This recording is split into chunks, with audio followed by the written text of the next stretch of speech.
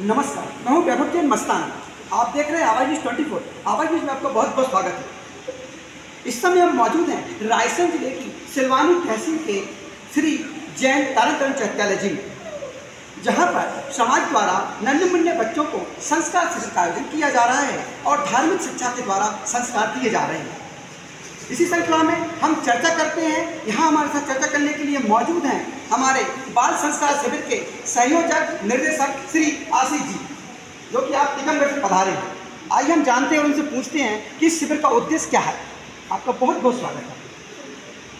धन्यवाद मस्ताना जी, आपने मुझे इस बाल संस्कार शिविर के बारे में बतलाने के लिए यहाँ पर बुलाया। यह जिन देशना बाल संस्कार शिविर वास्तव में बच्चों को भगवान बनाने की ओर प्रेरित करता है।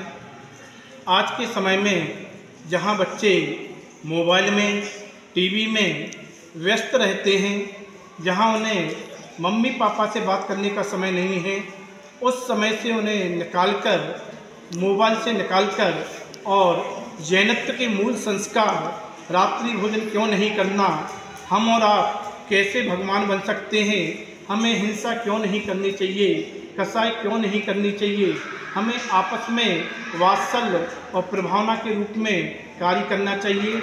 इस प्रकार के संस्कार देने के लिए 28 मई से 4 जून तक सिलवानी श्री तारा तारातरण विद्यालय जी में यह शिविर आयोजित किया गया है। इसका मेन उद्देश्य क्या है? आप क्या संदेश देना चाहते हैं? मुख्य उद्देश्य बचपन में बच्चों की स्लेट कोरी रहती है, खाली रहती है।